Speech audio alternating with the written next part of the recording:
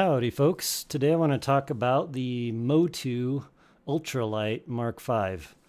So, I've got a little mm, small studio set up that I've had for years, and uh, the last interface I actually bought was a EMU uh, 1212M back in like 2006 or something like that. It was a long time ago.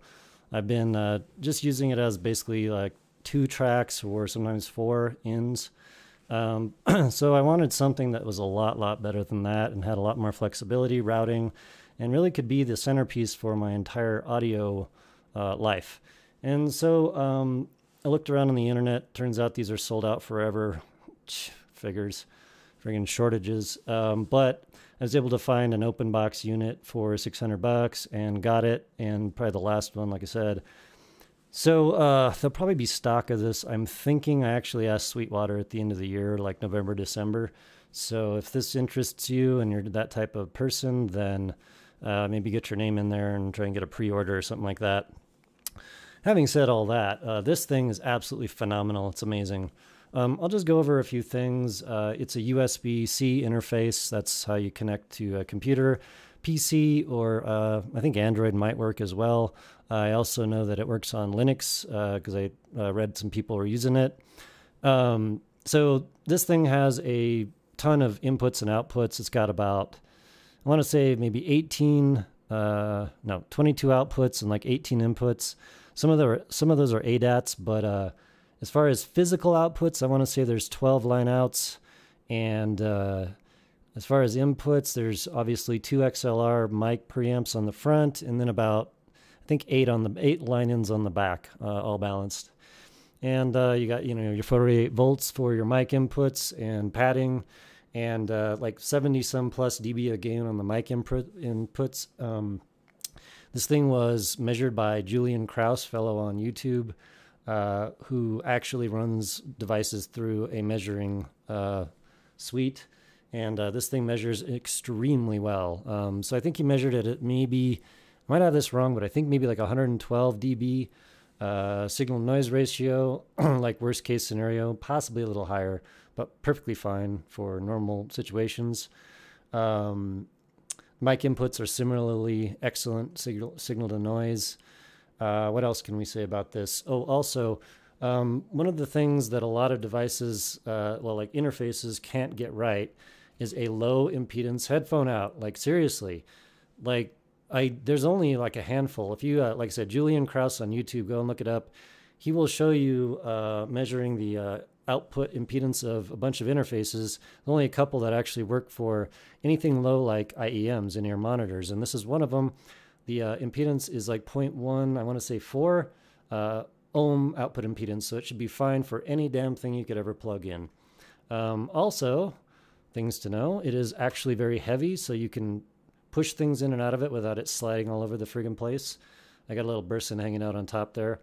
Um, and so what I got is uh, the Burson is running via SPDIF optical from the uh, Ultralight Mark V uh, on the back. That's just in line. Uh, you can see obviously this got like a nice little OLED display up here. Um, if I put on something, I'll put it on real low. So what I've actually got, you can use this thing as a, here, let me turn it down just a little more. Hold on. Don't want to smash people out. Okay, so you can use this thing as a live sound routing interface or mixing board. Um, so over here we got the two line outs, uh, one and two, right here, main. Then we got, uh, what is that, eight uh, line outs here. Um, so the way I'm running this is uh, left, right, um, two sets of studio, or two studio monitors on the left and right, which I think are JBLs. Then the uh, three and fours are K, uh, sorry, Yamaha. Uh, then uh, four and five are like uh, KRKs. Then I got a set of outputs going to my subwoofer SVS. And then the last two are going to this, the xDuoo TA20 balance. So balance from this guy to this guy. All of that is running inline, and you can fade and mix any combination of inputs and outputs you'd ever want to your heart's content. Um, so I'll show you a little bit of that. Um, let's see, let me turn this off. So if we go to CueMix, this is the interface that you will get on your computer. Uh, so we can see immediately that, let me just pop over to this. Um, we got some stuff labeled. Uh, this is a Blue Yeti Pro mic on the, actually turns out left and right right now. I also have a SM57, but the Yeti Pro is a stereo uh, device, so I just figured I'll use that. Um, we got our main volume, that's our left, right outs. Uh, phones, so the, the headphone jack has actually got its own volume. You can link any of these, sorry, this is input monitoring, so, you know, um, all your inputs, and also you can route those to your headphones if you just want instant uh, monitoring. Um, so let's flip over to devices. Um, we got, um, and this is an interesting thing. You can actually uh, turn this sound card into many Windows devices. Uh, so, so sound devices. So I think you could do like main out is one, uh, phones is two, three, four. Um, oh, and I think I need to do something here. Anyway, I, I have that disabled, but uh, so you can that literally just added another uh, output device to Windows. And you can do that for a bunch of different stuff. So if you wanted, you could, in theory, have a bunch of different um, uh, programs all on different lines, different outputs on the device. It's pretty incredible. Um, and also for the line ins and the mic ins. Uh, so here's our inputs. Uh, you got like some padding you can control. Like if I hit, uh, well, I'm not going to do it right now. If I turn the 48 volt off on my mic, it'll turn off. You got a pad, blah, blah, blah. Um, I also got a Kemper profiler. That's for guitar. Uh, that needs to be at nine. Um, so that is plugged into two of the inputs on the back. Um, and then I, I don't think I have anything else on these right now. Uh, if we go to the outputs, we got our phones, more stuff. You can uh, gang volumes. So as you turn the main volume on it, like so, I don't know if you can see that turning, but uh, that will turn all of the lines all in a series, either up or down, depending on your main volume control. Uh, phones, uh, you can turn, you know, source, you can change that to whatever you like. Um, oh, interesting. It's not showing certain things on the screen. well, anyway, um, we'll go to our mixers. So I have that labeled. So that's the front Yamahas. Um, here's all our inputs. You can fade those in. I got uh, LDAC that's coming via SPDIF. We got a workstation that's coming via uh, coax SPDIF. Um, that's another computer. Here's our Windows sound cards here. And then we've got um, like a main uh, fader here.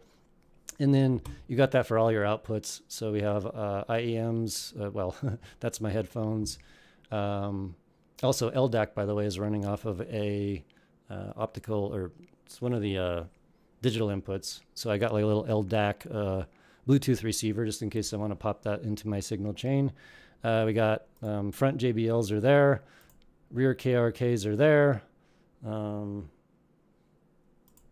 we got the uh, tube amp there. We got the subwoofer here. And uh, reverb, I think you can add that on certain things for like live sound. I haven't really messed with that at all. So that's just kind of the interface, really cool. And then if I pop over to, uh, here's just the uh, little, you know, the product page. And, you know, I bought this. I'm not like, this is not like, I'm not even being paid to review this. This is my new device, my new interface for all of my audio stuff. And uh, I bought it based on my research, and that's it basically. So, you know, 2.4 millisecond round trip, blah, blah, blah. Um, killer, uh, 40, yeah, tons. Okay, 1822. Um, it's got ADATs. You could do, it's kind of like a little flow chart of things you can plug in. Very cool. Even a home theater. Uh, oh yeah, you can actually control the whole damn thing from an iPad, which I don't use Apple stuff. And um, yeah, so this thing is a freaking beast, an absolute beast. I can't recommend it more. I've had it running for about two weeks now, not a single glitch, no no problems. Um, I will say that uh, USB-C cables break all the time, and I had a couple cutouts. Turns out, yeah, I just tapped the cable and the damn thing cut out. New cable, good to go. Um, so just something. Um, and uh, yeah, really cool. So I wanted to mention that for people that are in the uh, maybe I don't know streaming type of stuff. Uh, who knows what you might be into, but need a lot of inputs and outputs, microphones, um, and a very very solid uh, audio device uh, for a PC or Mac that you could use for literally anything: uh, headphones, IEMs, recording, the whole works. Um, mm, you know, even the Burson is in line with this. So absolutely amazing. Right on, folks. I will talk to you on the next one.